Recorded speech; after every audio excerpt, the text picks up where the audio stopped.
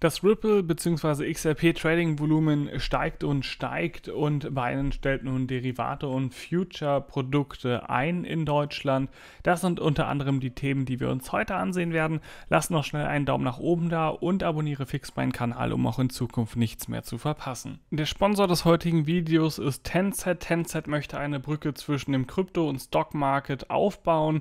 Alle weiteren Informationen findet ihr am Ende des Videos, wenn ich auf das Projekt nochmal in Ruhe eingehe. Starten wir direkt rein mit dem allerersten Thema und hierbei geht es um das Trading-Volumen von XRP, das im zweiten Quartal 2021 komplett verdoppelt wurde und zusätzlich sollen NFTs in Zukunft kommen. Dass es rund um XRP gerade sehr rosig aussieht, das haben wir schon mitbekommen.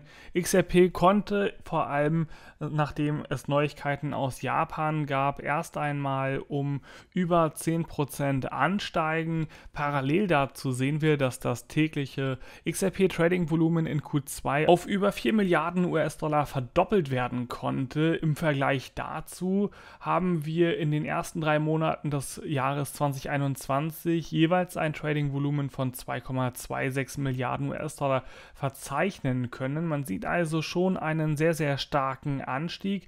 XRP ist damit die fünftgrößte Kryptowährung nach dem täglichen Volumen.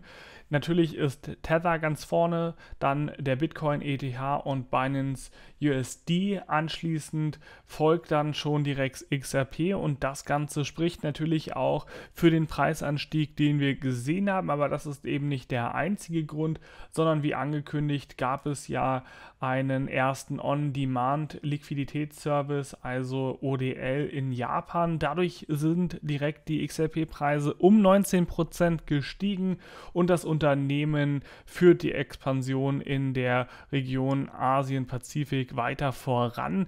Die ganzen Geschichten haben sie bereits initiiert, als es den Streit mit der SEC und die Klage bereits gab, weil sie mitbekommen haben und natürlich auch zukunftsorientiert genug gehandelt haben und wissen, dass sie nicht alle Karten nur auf die USA legen können, sondern dass es global sich auszubreiten deutlich mehr Sinn macht. Das ist jedenfalls so die Strategie. Das heißt also, sie haben vor allem im asiatischen Raum sehr starke Partnerschaften aufbauen können und dort wird tatsächlich auch das erste Mal ODL richtig genutzt und das hat direkt erstmal dazu geführt, dass zum einen immer mehr XRP verbrannt werden, auf der anderen Seite aber eben auch der Preis pro XRP steigen konnte. Das Ganze passiert parallel zu der eigentlichen Klage mit der SEC. Dabei geht es um einen womöglich nicht registrierten Wertpapierverkauf in Höhe von 1,38 Milliarden US-Dollar.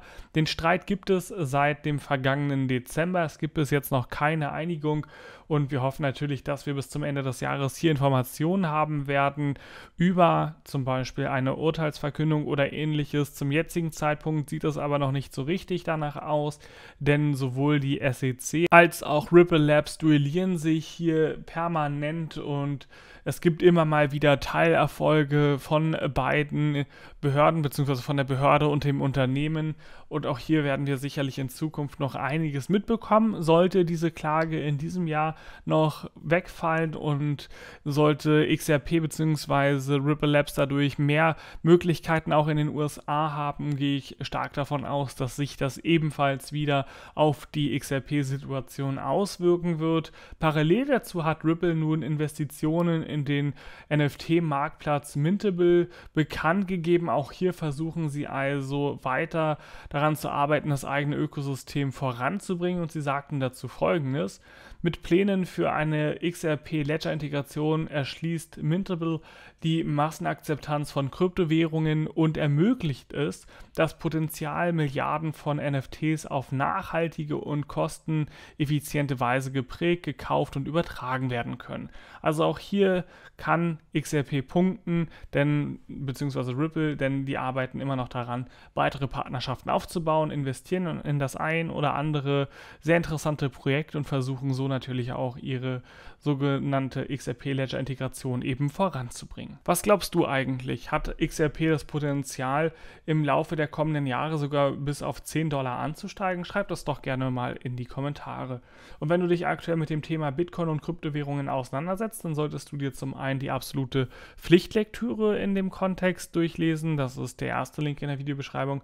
und hinter dem zweiten Link verbirgt sich ein Hardware-Wallet, was aktuell um 30% reduziert ist sehen wir uns das zweite Thema an. Und hierbei geht es um die aktuelle Bitcoin-Situation. Wir haben kurzzeitig die 42.000 US-Dollar erreichen können. Aktuell sind wir ungefähr bei 41.000 800 US-Dollar unterwegs, wobei sich das im Laufe des Tages auch wieder verändern kann. Und viele fragen sich natürlich nun, was als nächstes passieren wird. Einige Analysten sprachen vor allem darüber, dass es in der nächsten Zeit nochmal eine Korrektur Richtung 29.300 US-Dollar geben kann und dass es erst anschließend einen richtig starken parabolischen Anstieg geben soll. Ich persönlich denke, dass wir das Potenzial haben, die nächsten wichtigen Unterstützungsniveaus zu erreichen und diese eben auch zu Unterstützungsniveaus zu machen und zu implementieren und anschließend bis zum Ende des Jahres eben das Potenzial haben, sogar das All-Time-High wieder zu erreichen. Das ist meine Ansicht dahinter. Wir haben ja gestern zum Beispiel auch darüber gesprochen, welche unglaublich gigantischen Prognosen so aufgestellt werden. Dort sieht man sehr schnell Summen weit über 100.000 Dollar bis sogar zu einer Million US-Dollar pro Bitcoin und das halte ich erst einmal nicht für realistisch, auch wenn ich mich in dem Kontext gerne täusche. Auch Plan B hat sich nun nochmal dazu geäußert und ist der Meinung, dass der Boden aktuell bei 43.000 US-Dollar liegen soll. Das ist seine Ansicht der ganzen Geschichte und er glaubt weiterhin, dass wir bis Ende 2021 knapp 135.000 US-Dollar pro Bitcoin sehen werden. Ich bin extrem gespannt, ob er recht behalten wird. Das Stock-to-Flow-Modell, das er hier als Indikator benutzt, das hat in der Vergangenheit schon recht gut funktioniert. Dafür müssten wir im August nun einmal die 47.000 US-Dollar erreichen, im September bei 43.000 Dollar liegen, im Oktober bei 63, damit wir dann im November auf 98.000 und im Dezember auf 135.000 US-Dollar steigen können. Das sind jedenfalls die Ansichten, die Plan B hier auf Twitter geteilt hat. Und hier sieht man auch wieder, wie unglaublich bullish er weiterhin an den Bitcoin und an die Performance glaubt sehen wir uns nun noch das letzte Thema an und hierbei geht es vor allem um Binance, denn sie stellen nun in Europa Derivate und Future Trading in Europa ein. Also das Ganze wird definitiv Auswirkungen auf jeden haben, der aktiv auf Binance tradet und das eben auch in Zukunft vorhatte. Es wird in Deutschland, Italien und in den Niederlanden keine Möglichkeit mehr geben, ein Future-Konto zu eröffnen und alle offenen und bestehenden Positionen müssen zu einem noch nicht genannten Datum geschlossen werden. Man möchte also diese ganzen regulatorischen Hürden nehmen. Das scheint erst einmal die Bestrebung zu sein. Und deswegen haben sie sich dazu entschieden, proaktiv also die Schritte zur Harmonisierung der Kryptobestimmungen zu unternehmen. Also sie wollen, bevor es weitere Probleme mit Behörden gibt, eben anfangen, schon mal die Produkte vom Markt zu nehmen, um sich um diese regulatorischen Fragen zu kümmern, diese zu lösen, um dann anschließend die Future- und Derivatprodukte wieder direkt anbieten zu können. Es bleibt spannend. Die Frage ist natürlich, wie es mit Binance weitergeht. Viele glauben, dass Binance dadurch verloren hat und auch in Zukunft nicht mehr das Potenzial hat, wieder sich aufzubauen. Auf der anderen Seite müssen wir aber auch bedenken, dass die Plattform nun mal, wenn es um das Volumen geht, die weltgrößte Kryptobörse überhaupt ist. Damit werden sie auch ordentlich Kapital haben.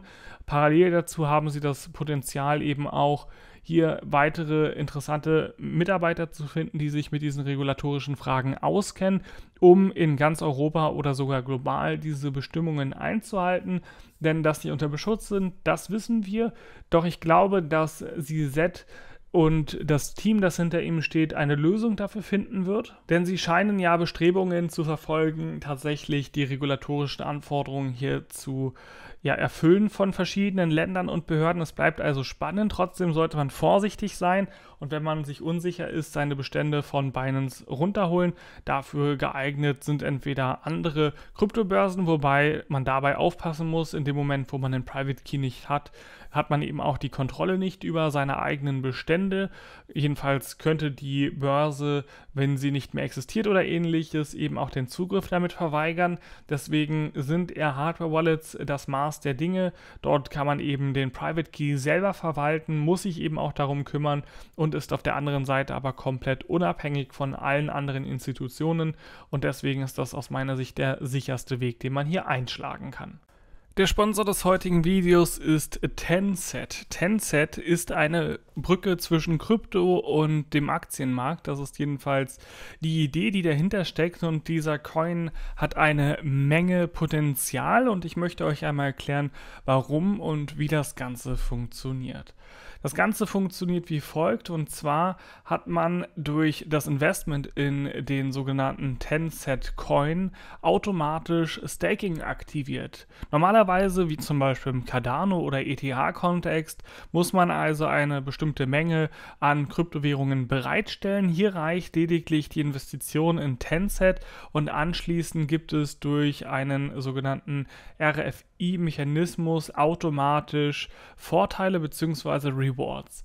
Außerdem ist Tencent deflationär. Das gucken wir uns gleich nochmal an. Und parallel dazu gibt es ein sogenanntes Smart Backing. Das bedeutet, dass der Tencent-Token für eine Mischung aus verschiedenen Aktien und Kryptowährungen steht.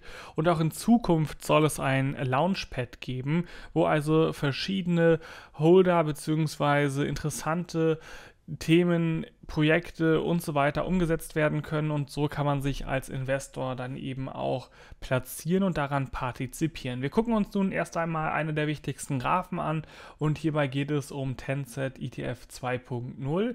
Das Ganze läuft wie folgt ab. Der User, der kauft sich quasi seinen Tencent Token mit ETH und das Schöne ist, ab dem 3. August wird es eben auch über Pancake Swap möglich sein, die Tencent Token sich äh, zu organisieren. Und wichtig ist hierbei vielleicht auch zu wissen, dass wir hier aktuell bei einem Euro 67 liegen, in den letzten 24 Stunden ein Plus von knapp 10% verzeichnen konnten und das All-Time High bei über 5 Euro lag. Also auch hier ist noch einiges an ja, Möglichkeiten und Potenzial eben offen. Und jetzt gucken wir uns nochmal weiter an, wie das funktioniert. Das heißt also, wir holen uns also unsere Tensor Token und automatisch dadurch gibt es eine einprozentige Fee, die direkt an alle Tencent-Holder ausgezahlt wird. Hier geht es also um dieses Staking, was man nicht aktiv ansteuert, sondern direkt passiv eben umgesetzt wird. Heißt also, durch jede Transaktion bekommt jeder, der Tencent-Token hält, eben automatisch eben 1% wieder zurück. Parallel dazu werden dann eben auch 1% Fees direkt verbrannt, so wie wir es bei verschiedensten Kryptowährungen eben kennen. Das Ganze wirkt sich dann deflationär auf die Kryptowährung aus. Parallel dazu hat sich Tencent dazu entschieden, 30% der Profite direkt in Buybacks zu investieren. Also auch hier werden Tencent-Tokens zurückgekauft und direkt geburnt. Also auch hier gibt es wieder einen deflationären Mechanismus und mit dem Gewinn investieren sie dann eben in verschiedene Unternehmen oder auch in Kryptowährungen.